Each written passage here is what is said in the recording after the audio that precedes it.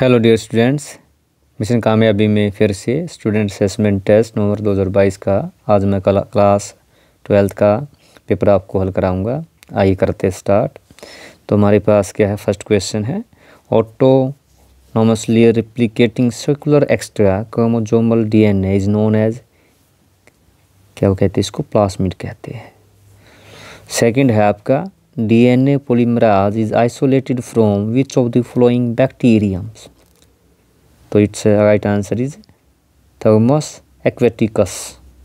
Now next question GEAC stand for G genetic, E engineering, A approval, C committee. The right answer is B. Fourth question R value for flower beetle is तो R value जो floor beetle कितनी होती है zero point बारह होती है now, next question. Which one of the following has the largest population in food chain? तो largest food chain कौन से होते हैं? ऑटोट्रॉप्स होते हैं जिसे हम कहते हैं प्रोड्यूसर तो this is our right answer now plants are called as dash because they fix carbon dioxide तो प्लांट्स क्या होते हैं? ऑटोट्रॉप्स कहते हैं इनको। प्रोड्यूसर भी यूज़ कर सकते हैं। तो हमारा आंसर क्या होगा? ऑटोट्रॉप्स और producer. Now next question. Mammals from colder climates generally have shorter ears and limbs to minimize heat loss. This is called Allen's rules. This is our right answer. Now next question. Expand GMO. G means genetically, M means modified, O means organism. Genetically modified organisms. Now ninth question.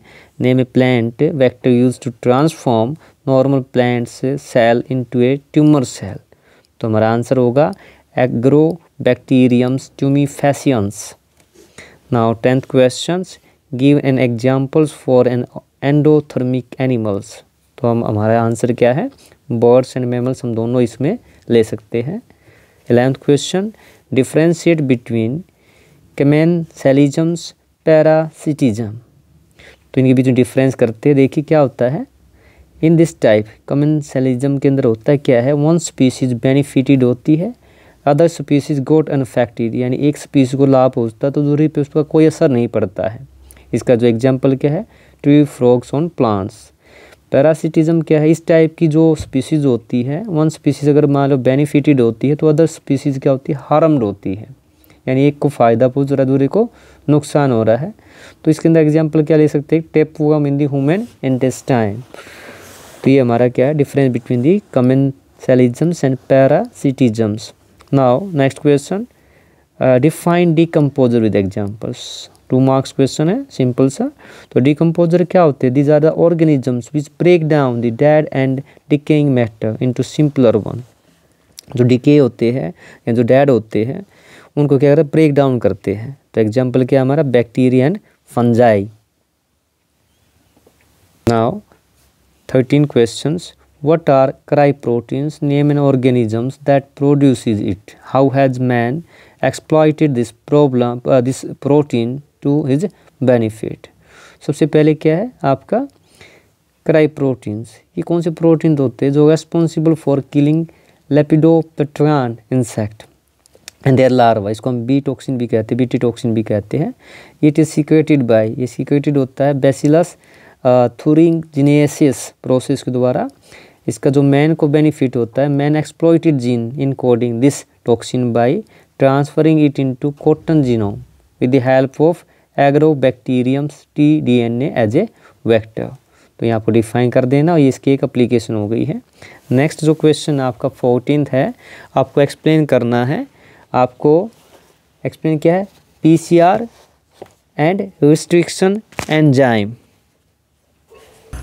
तो सबसे पहले PCR को explain करते हैं PCR PCR का जो अर्थ होता है, वो क्या होता है? पोलीमेराज चेन रिएक्शन होता है। वैसे इसमें आपको थोड़ा डिटेल बताऊँ, इस रिएक्शन में क्या होता है? प्राइमर के दो सेट तथा डीएनए पोलीमराज एंजाइम का यूज़ करके इन विट्रो मेथड से जीन ऑफ़ इंटरेस्ट को कई कॉपीज़ की सिंथेसिस की जाती है। इसके अंदर जो प्राइमर होता है, ये स्मॉल केमिकल सिंथेसाइज्ड न्यूक्लियोटाइड्स होते हैं, जो डीएनए रीजन के कम्प्लीमेंट्री होते हैं। ये एंजाइम क्या करता है? जीनोमिक जो डीएनए को टेम्पलेट के रूप में प्रयोग करता है और रिएक्शन में पाए जाने वाले न्यूक्लियोटाइड्स का उपयोग करके प्राइमर को भी एक्सटेंड कर देता है।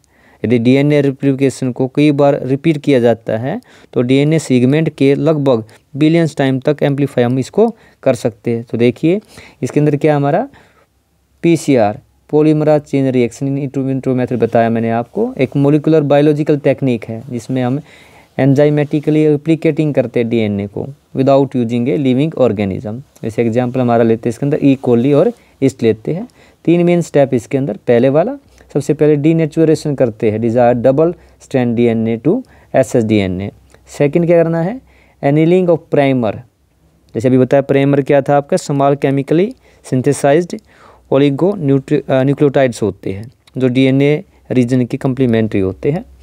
तो annealing of annealing of primer to S S D N A single strand बदलते हैं। Now extension of primer to T DNA polymerase isolated from Thermus aquaticus इसका यूज़ क्या है? Amplification of desire gene and gene cloning now next है restriction enzyme and DNA इसके ऊपर आपको small notes लिखना है। तो जो रिस्ट्रिक्शन एंजाइम कंसेप्ट आया था सन उन्नीस में दो एंजाइम को आइसोलेट किया गया था, जो ई कोली में बैक्टीरियोफेज को ग्रोथ को रोक देते थे। इनमें एक एंजाइम डीएनए से मिथाइल ग्रुप को जोड़ता है, जबकि दूसरा क्या है? एंजाइम डीएनए को कट करता है। दूसरे वाले एंजाइम को रिस्ट्रिक्शन एंडो न्यूक्लियोज कहा गया था। पहला रिस्ट्रिक्शन एंडोन्यूक्लियस जो हिंद टू जिसका कार्य डीएनए न्यूक्लियोटाइड के स्पेसिफिक सीक्वेंस पर डिपेंड करता था। और सेकंड हिंड टू को पाँच वर्ष बाद आइसोलेट और करेक्टर करेक्टराइज किया गया था। अब देखो इसके अंदर क्या है हमारा, अगर आप लिखिए तो क्या बताइए restriction enzyme is a group of enzyme होता है, जो यूज़ होते हैं टू क्लीव और cut D N A strand each having a characteristics base sequence at which it cleaves तीन स्टेप इसके अंदर लिख सकते हैं। इट रिस्ट्रिक्ट करता है फॉरन डीएनए को from entering normal cell by digesting कर जाता है इसको it at varies recognition site recognition site is palindromic होती है।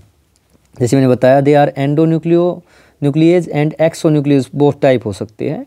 दे प्रोड्यूस स्टिकी एंड और cleavage site and recognition site different हो सकती है एक दूसरे से। इसके अंदर रिस्ट्रिक्शन इंजाइम क्या करते हैं? They for believe to be mechanism है जो इवोल्व होता है बैक्टीरिया के अंदर। उसको रजिस्ट करता है वायरल अटैक को and help in the removal of the viral sequence तो ये था आपका सेट दो बायोलॉजी ट्वेल्थ क्लास पेपर